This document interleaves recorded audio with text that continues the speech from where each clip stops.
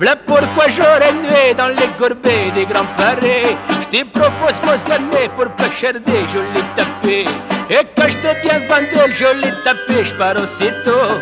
Avec jolie Fatma, quartier Barbès, danser le tango. Les vrais tango, c'est des belles abaisses. Que joue le piano, loin de c'est des belles abaisses. Pour les gauchos, c'est des belles abaisses. Dans les bistrots, c'est des belles barbesses. Oh, qu'est-ce que je là Eh, C'est pas le tango, ça, dit. Eh, je connais la musique, moi. Ah, voilà.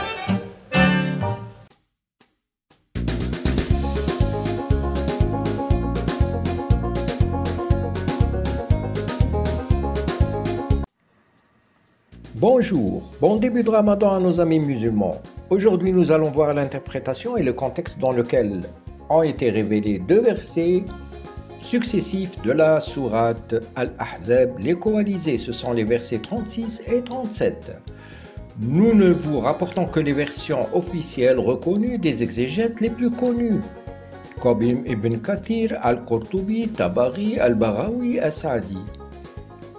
Comme les raisons de la révélation, appelées en arabe Asbab al-Nuzul, ont été développées plus tard, après des siècles, par les exégètes pour expliquer dans quel contexte le verset a été récité. Avec chaque verset, donc, nous vous proposerons le contexte de la révélation et son interprétation par les exégètes. Ensuite, nous ferons notre propre commentaire. Le contexte du verset 36.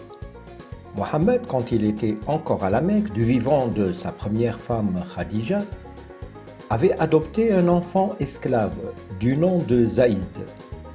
Comme le veut la coutume tribale de l'époque, il a emmené l'enfant devant le temple de la Kaaba et a déclaré publiquement Je vous prends comme témoin que Zaïd est devenu à partir d'aujourd'hui mon fils, il méritera et je l'hériterai.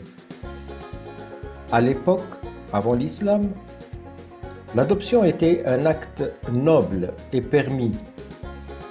Quelques années après la mort de sa première femme, Khadija, et l'exil de Mohammed à Médine, il se décida à marier son fils adoptif, devenu adulte.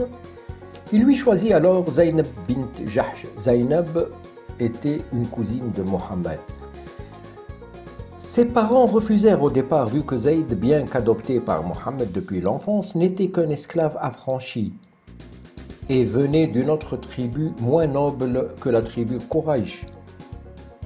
Puis le messager d'Allah reçut le verset qui obligea les parents de Zaynab et Zaynab à accepter le mariage, et le mariage eut lieu. Le verset en question est le, verset 36 de la sourate Les Coalisés il n'appartient pas à un croyant ou à une croyante, une fois qu'Allah et son messager ont décidé d'une chose, d'avoir encore le choix dans leur façon d'agir. Et quiconque désobéit à Allah et à son messager s'est égaré certes d'un égarement évident.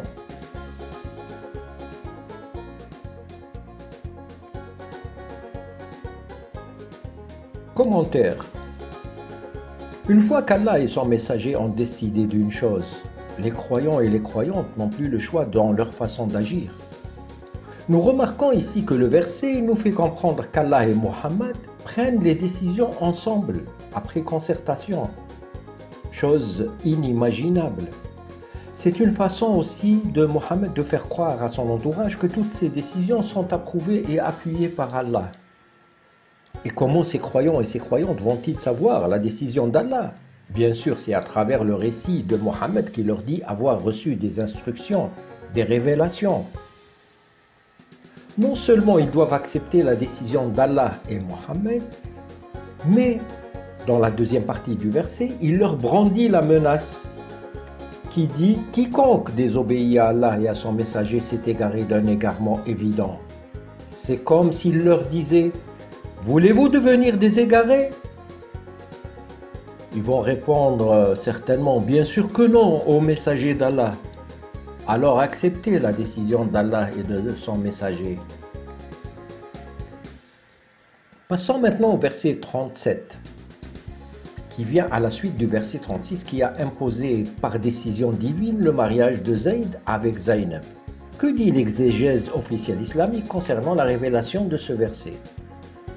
Après quelques années, le mariage de Zayd et Zaynab battait de l'aile et le messager d'Allah était au courant. Un jour, pendant que Zayd était absent, Mohammed, sans prévenir, passa le voir chez lui. Il entra et surprit Zaynab en tenue légère. Il ne put s'empêcher d'exprimer son admiration pour elle en disant Gloire à toi, Allah, celui qui fait chavirer les cœurs. C'est une façon de lui faire la cour.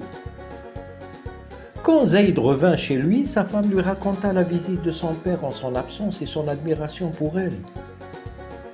Zayd comprit le désir de son père adoptif pour Zaynab et courut lui proposer de la divorcer pour que Mohammed l'épouse. Mohammed s'est réjoui intérieurement de la proposition de son fils adoptif Zayd, mais il le cacha et il lui conseilla alors de garder son épouse. Mais après quelques jours, Mohammed annonça qu'il venait de recevoir le verset qui lui autorisait de ne plus cacher son désir pour Zaynab parce qu'il craignait le jugement des gens et lui donna la permission d'épouser Zaynab.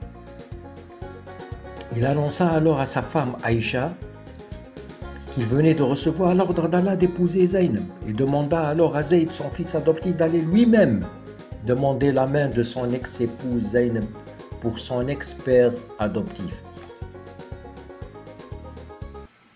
Que dit le verset 37 Quand tu disais à celui qu'Allah avait comblé de bienfaits, tout comme toi-même l'avais comblé, garde pour toi ton épouse et crains Allah. Et tu cachais en ton âme ce qu'Allah allait rendre public. Tu craignais les gens et c'est Allah qui est plus digne de ta crainte. Puis quand Zaïd eut cessé toute relation avec elle, nous te la fîmes épouser afin qu'il n'y ait aucun empêchement pour les croyants d'épouser les femmes de leurs fils adoptifs. Commentaire. Si le Coran est destiné à l'humanité entière, pourquoi comporterait-il des versets qui ne nous sont d'aucune utilité?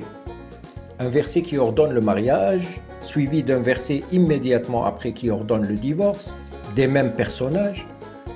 Pourquoi Allah parle-t-il aux croyants de problèmes familiaux de Mohammed censés être intimes?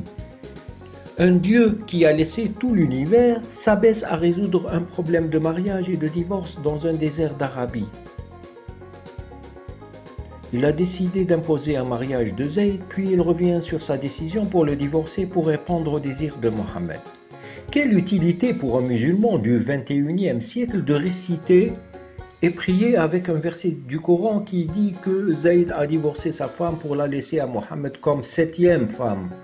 Imaginez la prière d'un musulman qui commence sa prière par Allahu Akbar, puis récite et quand Zayd n'a plus besoin de sa femme, nous te la fîmes épouser. Mais où est la sagesse et la spiritualité? On a l'impression d'assister à une séquence du feuilleton Amour, gloire et beauté du Moyen Âge en Arabie. En conclusion, les croyants ont fait remarquer à Mohammed qu'il viole les lois sur l'inceste. Mohammed s'en est sorti en récitant une prétendue révélation qui le sort d'affaire, tout en abolissant l'adoption dans l'islam. Entre-temps, son épouse Aïcha a fait remarquer que Dieu est fort accommodant pour les désirs de Mohammed.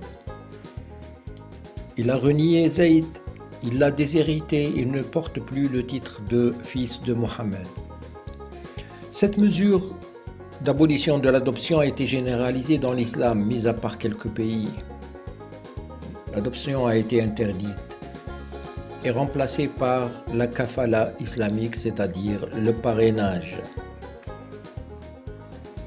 Bonne soirée et à bientôt avec la découverte d'autres versets. Qu'est-ce que c'est Tu crois que des belles abbesses Et pour la clientèle des et des belles barbesses